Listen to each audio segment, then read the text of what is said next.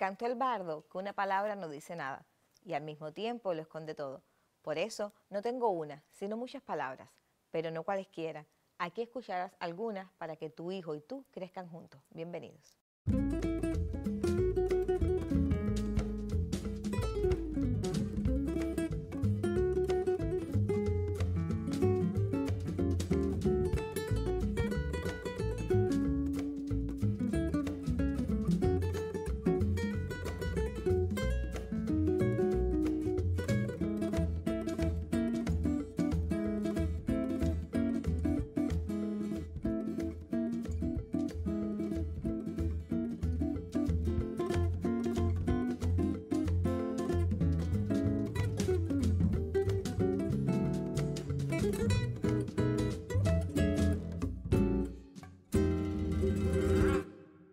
Nuestra vida se ha acelerado, como consecuencia la de los niños también.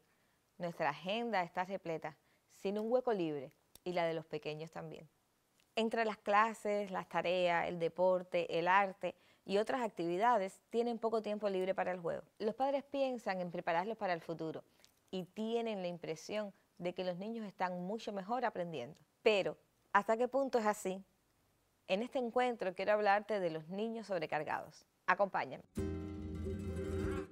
La familia debe intencionar las actividades extracurriculares de los niños, debe potenciar sus capacidades y debe trabajar en pos de buscar un mejor desarrollo de los intereses eh, más allá de la esfera cognitiva que tengan, que tengan los niños. Eso es bueno, es necesario. En la, en la actualidad, el desarrollo de la ciencia, la tecnología, el alcance que tenemos a nuestras manos de muchos medios nos da la posibilidad de que nuestros niños puedan estudiar inglés, puedan estudiar música, puedan estudiar ajedrez y puedan llenar su, su, día de actividades que lo puedan hacer sentir bien, que lo puedan hacer sentir cómodo. Se ha creado una gran tendencia en la actualidad eh, que se centra en agendar el día de los niños.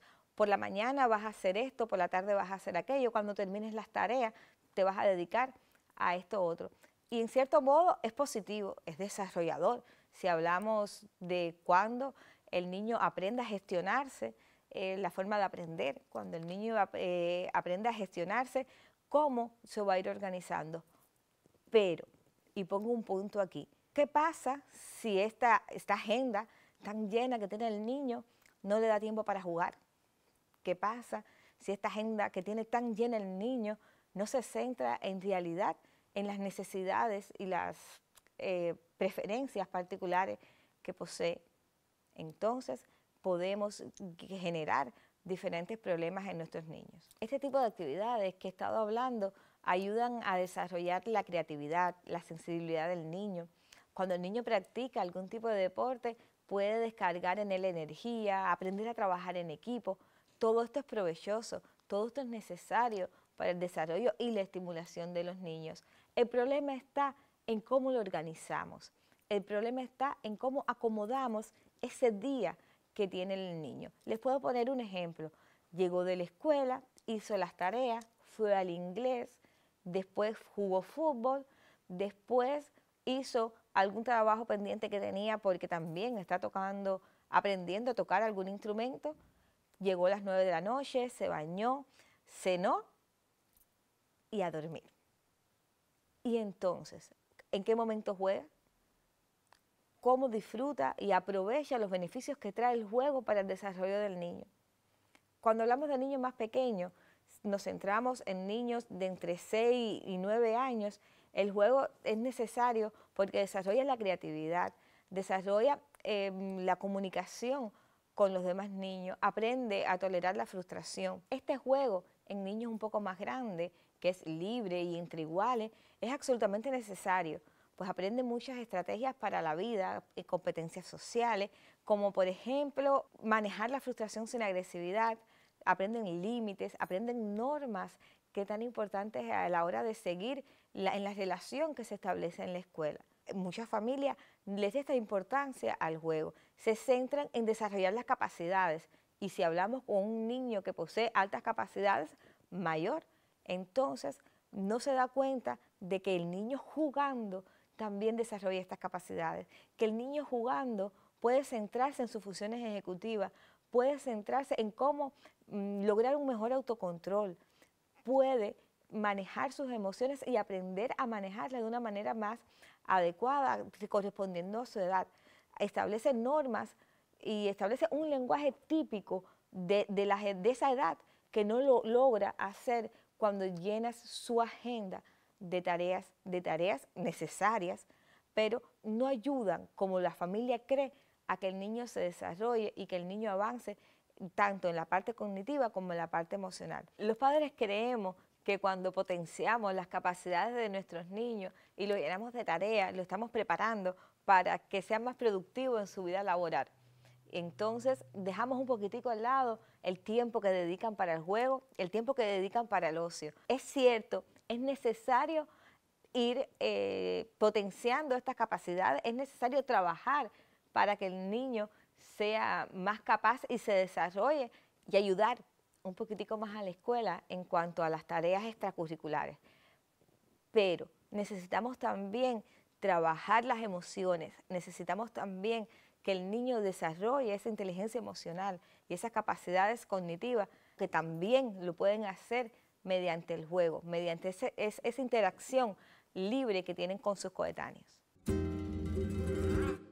Cuando un niño comienza a procesar más información de la necesaria y apropiada para su edad, no logra del mismo modo lidiar emocionalmente con lo que está procesando. Pueden surgir preocupaciones, tensiones, temores, entre otros tantos resultados negativos como consecuencia de esta brecha entre procesos cognitivos y emocionales. Mientras los adultos reclaman tiempo libre para hacer lo que deseen sin presiones ni diseños preconcebidos, a la vez están privando a sus hijos de lo mismo que ellos demandan. Llegan así a una suerte de estrategias de estimulación cognitiva sin asesoría especializada que muchas veces termina por sobrecargar a los niños, en los que el desarrollo de la esfera emocional y de la socialización queda relegado a un segundo plano. En ocasiones, los diseños extracurriculares ideados por los padres ni siquiera responden a los intereses y gustos de sus hijos, y sí a viejos anhelos o sueños incumplidos de los mayores. Semejantes transferencias se convierten en la base para la aparición de sentimientos de frustración y baja autoestima en los muchachos, cuyas inclinaciones no tienen por qué coincidir con las de sus progenitores. Es cada padre, en efecto, el responsable último de que el desarrollo de su hijo sea lo más completo posible, pero esto no se debe confundir con el intento de alcanzar la universalidad de conocimientos, algo imposible que pueda hacer más daño que provecho. Palabras, programa de orientación psicológica dedicado a la familia. Estamos cada semana por televisión avileña. También escucha nuestro podcast en el canal de Telegram Palabras Orientación Psicológica. Palabras, un espacio para que tu hijo y tú crezcan juntos. Esta tarde en Palabras hablamos de los niños sobrecargados. Muchas han sido las voces que han alertado este problema que se acrecienta cada día más en nuestra sociedad. El exceso de actividades extracurriculares en los niños puede generar estrés infantil, agitación, fobia, trastornos emocionales, trastornos somáticos que pueden dar al traste con inseguridad, timidez, problemas en la escuela, problemas de relaciones sociales. Muchos son los niños que acuden a los especialistas y en realidad no tienen ningún problema solamente un montaje de vida inhumano según su edad.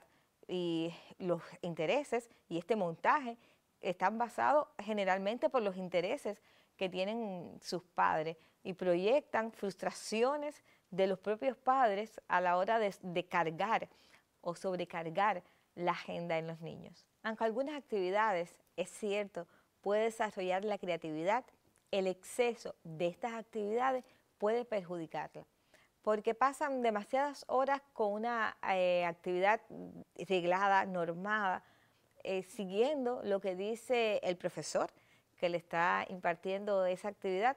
Y en largo plazo lo que hace es que los niños no aprendan a estar solos, eh, no aprendan a entretenerse ellos mismos, que los niños no se aburran. Y es muy importante para el desarrollo de la creatividad y para el manejo de las frustraciones, que los niños se aburran, tengan ese tiempo y nos llenen a nosotros los adultos y nos digan, no sé qué hacer, qué hago, mm, no tengo nada que hacer. Y ese tiempo, cuando el niño aprende a gestionar qué va a hacer en ese momento, él solo, mediante su propia decisión entonces ayuda a potenciar capacidades cognitivas y ayuda a potenciar también la creatividad. También hay niños que a pesar de su gran curiosidad natural pierden el interés cuando los contenidos están alejados de su realidad y están obligados a ir a estas actividades que no les gusta.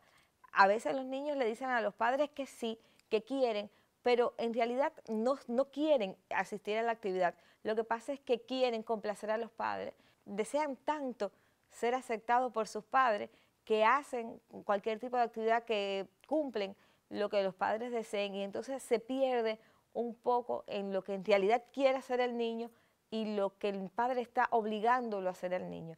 No es que el padre le diga, vas porque yo quiero y te obligo.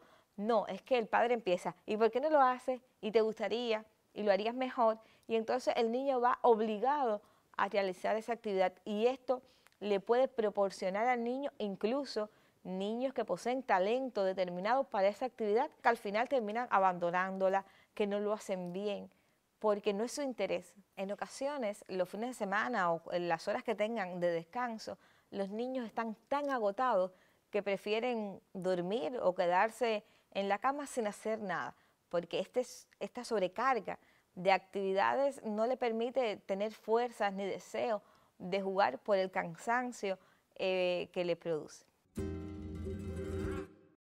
Jugar no es frívolo. Cuando en la vida de un niño falta el juego y las relaciones seguras y estables, el estrés tóxico puede afectar el desarrollo de la función ejecutiva y la apropiación de conductas prosociales. La doctora Roxane Castellanos nos recuerda sobre exigir al niño con muchos aprendizajes extraescolares, robándole tiempo de descanso y recreación, pudiera atentar contra su rendimiento en la escuela. Con estas palabras que nos invitan a reflexionar sobre cómo organizamos el tiempo libre de nuestros hijos, me despido. Hasta el próximo encuentro.